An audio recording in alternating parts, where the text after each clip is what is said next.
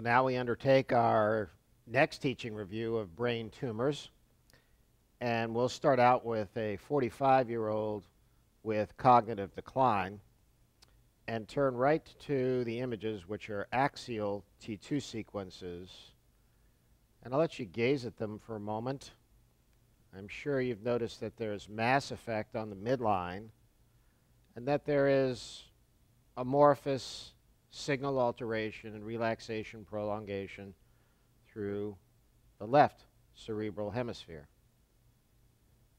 And perhaps the right cerebral hemisphere, or not.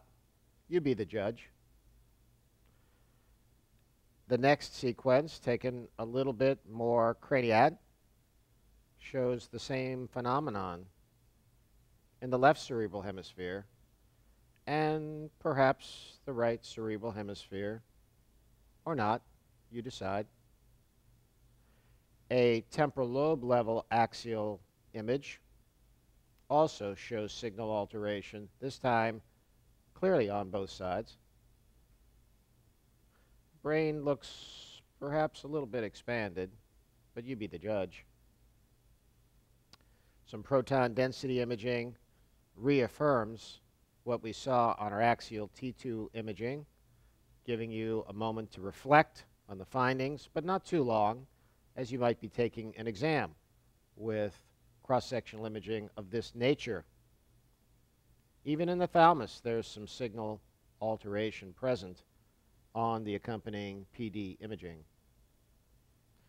And here is an axial PD or FLAIR with the same findings seen previously a little bit more clearly, and perhaps you might have reaffirmed in your mind that there is involvement of the contralateral hemisphere. As important as the contrast, T1 weighted image, and the amount of enhancement is something you should decide on. Is it dynamically enhancing intensely? Is it enhancing moderately? Or not at all? We have one more image to show you, a coronal contrast enhanced image. And it's important for you to decide on the degree, the distribution, and the intensity of enhancement. So now that you've had a chance to review this case, which is somewhat complex, but a case you might see on an exam, what is the most likely diagnosis? Is it oligodendroglioma? Is it gliomatosis cerebri? Is it metastatic disease? Is it encephalitis or is it progressive multifocal leukoencephalopathy? A, B, C, D, and E. Let's go on to question number two. You can pause if you want to reflect on your answer momentarily because it will have bearing on what you answer for the subsequent questions. Which is not true regarding gliomatosis cerebri? A. Diffuse. B. Involves two or more lobes. C. Involves the meninges and calvarium. D. Frequently bilateral. E. The clinical is outweighed or overshadowed by the imaging. Question number three. Which of the following statements regarding gliomatosis cerebri is true on imaging? A. Diffusion restriction present. B. Preserves underlying architecture with elevated MI or myoinositol on SPECT MRI. C. Enhances intensely. D. High cerebral blood flow due to vascular hyperplasia. E PET FDG or fluorodeoxyglucose shows marked hypermetabolism. All right, let's go back to question number one. First choice, A, oligodendroglioma. This is a spreading infiltrative disorder.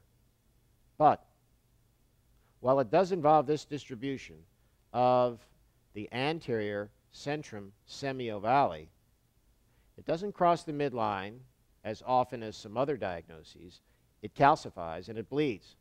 This lesion neither calcified nor bled. Oligo does so 90 plus percent of the time. Gliomatosis cerebri. That'll be a point of discussion since that's the correct answer. It involves multiple distributions, lobes, and hemispheres of the brain. More to come, but it is hypovascular, which helps differentiate it from many of the other proposed diagnoses, like metastatic disease, which enhances since it disrupts the blood brain barrier. There's usually not a broad infiltrative process, but several different focal masses that enhance. So that is not the diagnosis. Encephalitis. It's not an unreasonable choice. Brain swelling, diffuseness, multifocality.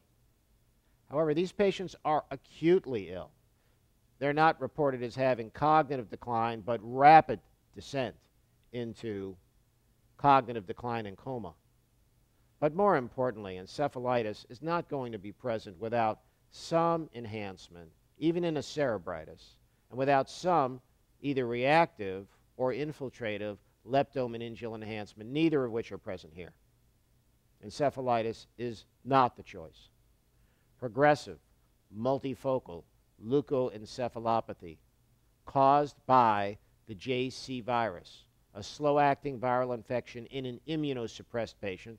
We didn't say the patient was immunosuppressed.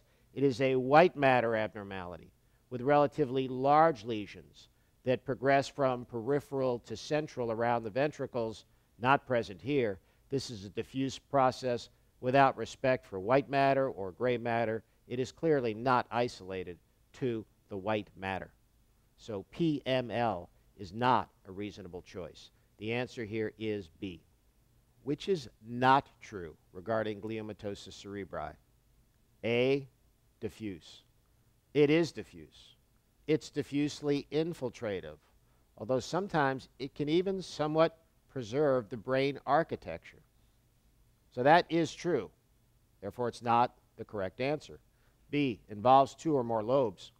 Our lesion involved four or five lobes, both sides of the brain, temporal, parietal, frontal. So that one is true and therefore can't be the answer. We're looking for the untrue answer. It involves the meninges and calvarium, where all our lesion did not involve the meninges and calvarium.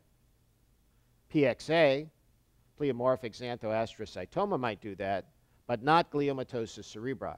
So C is not true, therefore it's the correct answer. Frequently bilateral, our lesion is bilateral, and that is true of gliomatosis cerebri. And finally, the clinical is outweighed or overshadowed by the imaging. In other words, the imaging looks worse than the patient. And that is true, therefore, it's not the correct answer to question number two. The correct answer is C. Which of the following statements regarding gliomatosis cerebri is true on imaging?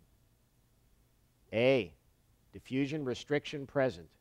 You would think with a malignancy, this infiltrative, that you would have diffusion restriction, but unfortunately, not. It has an interstitial growth pattern in between the white matter tracts and sparing nerve cells in certain loci. Therefore, diffusion restriction is not present. B preserves underlying architecture with elevated MI on SPECT MRI. That is true. We already implied that it preserves underlying architecture when we answered question number one, and also in describing its interstitial growth pattern.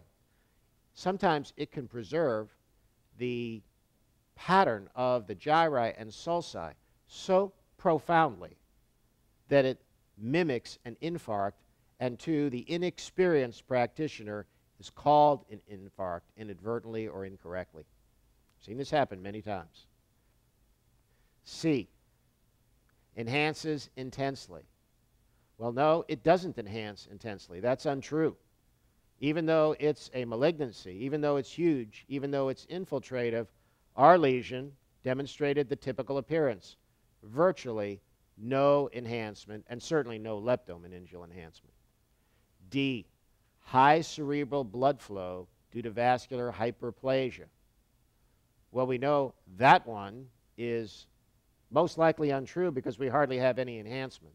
Although enhancement on MRI, if it's not dynamic, really reflects breakdown of the blood brain barrier. And on dynamic imaging, you're looking at vascular hyperplasia. But these lesions don't have high cerebral blood flow, they don't have vascular hyperplasia. E. PET FDG shows marked hypermetabolism. You would think that a large, huge, diffusely infiltrated malignancy would have hypermetabolism, but it doesn't. It's hypometabolic. Another fooler. So the correct answer in this case is B. Preserves underlying architecture with elevated MI on SPECT MRI. Remember, it preserves the architecture so much in some cases that if you don't have history or you're not tapped into the clinical, you might accidentally or inadvertently and embarrassingly call this an infarct. Let's talk a little bit more about gliomatosis cerebri. This is a World Health Organization grade 3 lesion, not as malignant as glioblastoma multiforme, which is grade 4. They are supratentorial and diffuse, infiltrative, multilobar, multihemispheric, occurring around age 45. They cross the midline via the corpus callosum or the massa intermedia. There is white matter involvement with gray matter extension. It may balloon or expand the gray matter, but preserve the gyriform shape of the cortex. The expansion is rather diffuse. The lesions are ill defined. It's hard to put your finger on that mass, but rather it appears that the entire brain is enlarged or involved. It's ill defined, hypovascular on C plus MR and CT because of the interstitial growth pattern and the lack of blood brain barrier breakdown. It is hypometabolic on PET, even though it's a malignancy, and on T2 imaging as well as FLAIR, it's still very ill defined. A unique feature of gliomatosis cerebri is when you do diffusion tensor imaging to actually image the white matter tracks or pathways like the callosum, like the centrum semiovale, etc., they appear preserved.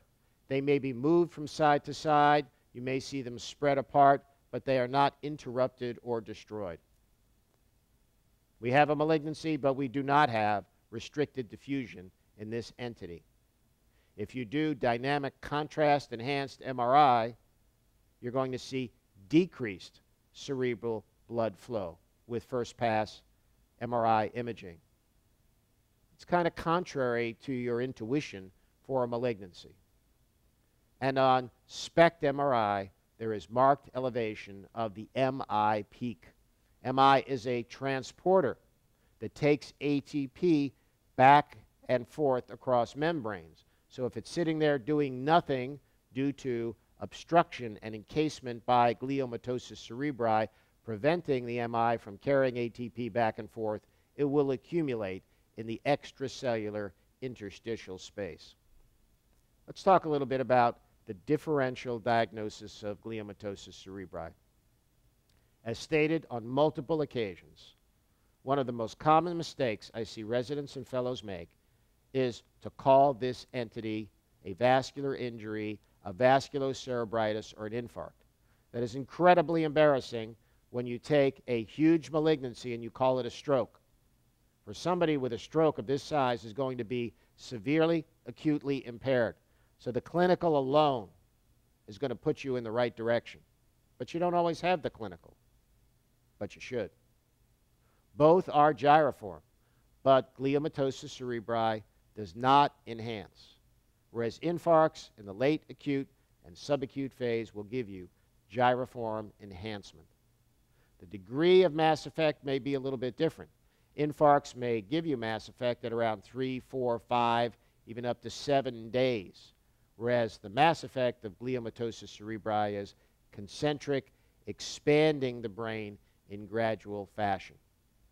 Focal symptoms of a stroke are present such as hand weakness, whereas gliomatosis cerebri, the symptoms are rather subtle, progressive, and amorphous. Vasculitis is often on the differential diagnostic list for the same reasons. It may produce an infarct like pattern, but often vasculitis has hemorrhage associated with it. You may see aneurysms or pseudoaneurysms on MRA. One feature of a vasculitis that is very consistent is headache. And the headache is even more severe when they bleed. Anaplastic astrocytoma, or grade 3 astrocytoma, not as large, not as multilobar, not as likely to cross the midline, not as diffusely expansile, and it may enhance. Viral encephalitis. This is an important one. These two patterns are very similar. It looks like somebody went in there and just stirred up the brain with an instrument in the kitchen. But in viral encephalitis, there's an acute phase. The patients have a stiff neck. There's meningeal enhancement. They have meningismus. Remember, you're an imaging clinician. If it's herpes, it's going to be temporolimbic with hemorrhage in the region, but there will be enhancement of the peritemporal meninges. D or dysmyelination. Well, you'd have to have pretty massive D dysmyelination, as in, say, severe metachromatic leukodystrophy, or if you had severe MS, you're still going to have skip areas, even in some of the severe forms of MS, like the Schilder's variant or the Balo's variant.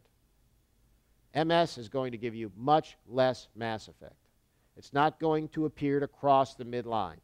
When it enhances, it's going to be ring enhancement that's open on the pial side.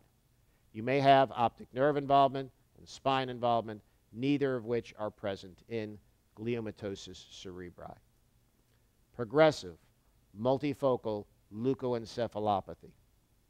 They're not going to have enhancement, just like gliomatosis cerebri, but they're going to be immunosuppressed. It likes the parieto-occipital white matter closing down into the periventricular region. It may involve the corpus callosum. Patients with AIDS are prone to PML, but any immunosuppressive state can lead to it. Metabolic dysmyelination. Well, we already alluded to D and dysmyelination earlier, but the metabolic portion of this choice refers to mitochondrial cytopathies, peroxisomal diseases, MELAS syndrome, MERRF syndrome, Leigh's disease, disorders of pyruvate carboxylase, other enzymes. This occurs in a younger age range. You don't see gliomatosis cerebri in 10 year olds or even 15 year olds. There's no mass effect. There are multiple infarcts. There may be multiple symmetric calcifications. There may be multiple symmetric areas of relaxation change in the thalamus or in the globus pallidus or putamen. They have an elevated lactate in the serum and on MR SPECT in these mitochondrial forms of metabolic disease. There are other metabolic diseases that we won't cover right now. Lymphoma. This is a deep, irregular, strange looking periventricular infiltrative process. But it enhances. It enhances intensely so picking lymphoma as a choice is 180 degrees out of phase with the appearance of gliomatosis cerebri. It's multifocal. It likes the deep brain. It likes the septum pellucidum. It likes the corpus callosum. It's hyperdense on CT. It's iso-intense on MRI because there's very little cytoplasm. Little cytoplasm, little T2 hyperintensity. The brain architecture pathologically is surprisingly preserved in this nasty infiltrative disease. There is no necrosis, a helpful side. There is no neovascularity. There is blurring or wax on, wax off appearance of the gray white matter junction under the microscope.